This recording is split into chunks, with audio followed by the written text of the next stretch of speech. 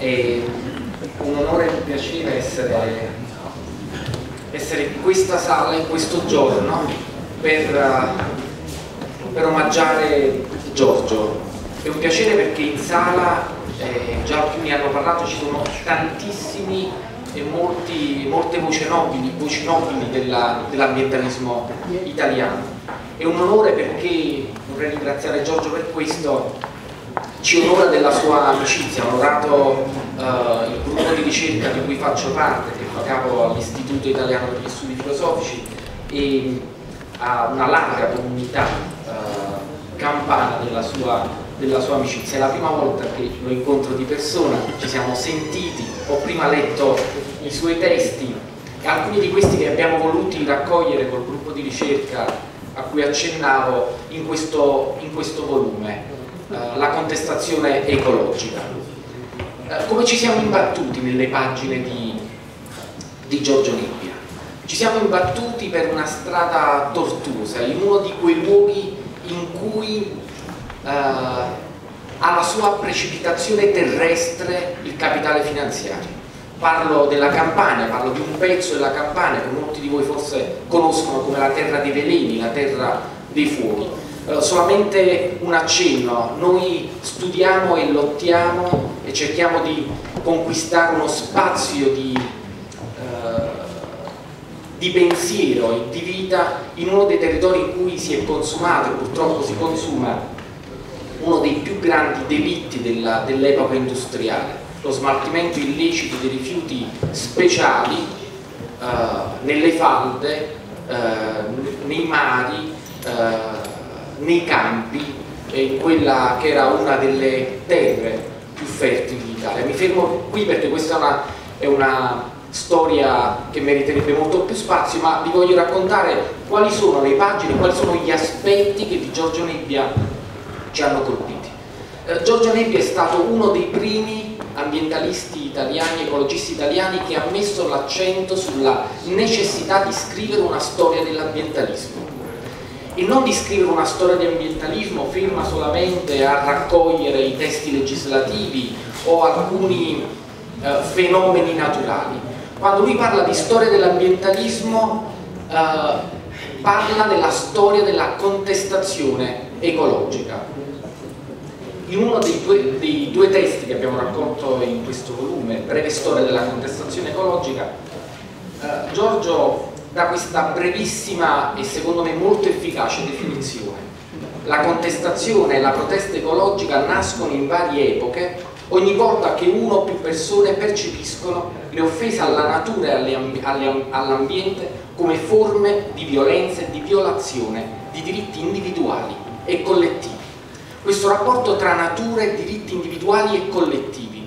E in un passaggio immediatamente successivo, in un altro passaggio fulmineo del suo testo, dice dov'è il contenuto sovversivo di questa storia, di questo movimento di uomini e donne.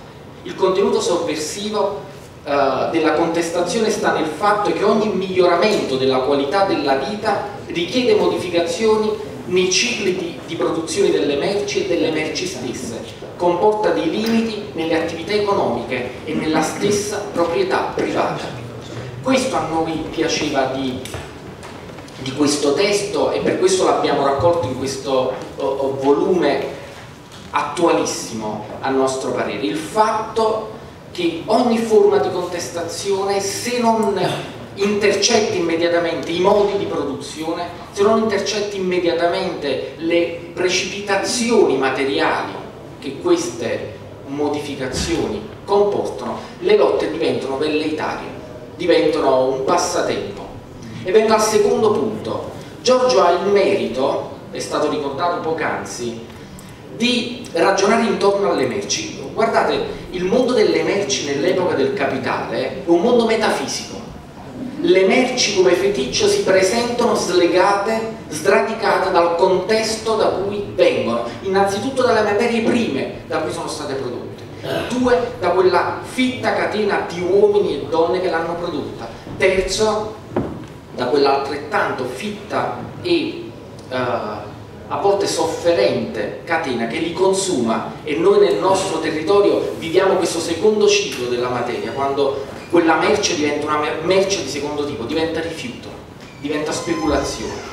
Ecco, uh, questo elemento a nostro parere è molto importante perché oggi in cui le forme di capitale diventano sempre più astratte è necessario radicalizzare, cioè riportare alla loro radice di produzione e di trasformazione della natura e dei rapporti sociali.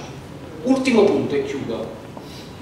Giorgio mette l'accento su, su, un elemento che noi riteniamo molto importante. Manca ancora in Italia un archivio storico delle lotte ambientali. Questo per noi resta, eh, e c'è il merito di Pierpaolo Poggio, c'è il merito della Fondazione Micheletti, c'è il merito di altri penso, penso ai fondi d'Italia Nostra, ai vari archivi, all'archivio Cederna, all'archivio Iannello a Napoli, ci sono dei luoghi ancora troppo separati, slegati tra di loro. Noi crediamo che un compito che abbiamo, che abbiamo ancora noi da portare avanti, eh, dell'insegnamento di, di Nebbia, sia rimettere insieme i pezzi, perché raccontare questa storia, renderla accessibile, come è stato per il movimento operaio, come è stato per il movimento della resistenza in Italia, significa tenere presente la nostra memoria. Voglio concludere con un altro brevissimo passaggio, ma intenso passaggio di, di un secondo testo di, di, uh, di Giorgio, uh, appunto dedicato e intitolato Per una definizione di storia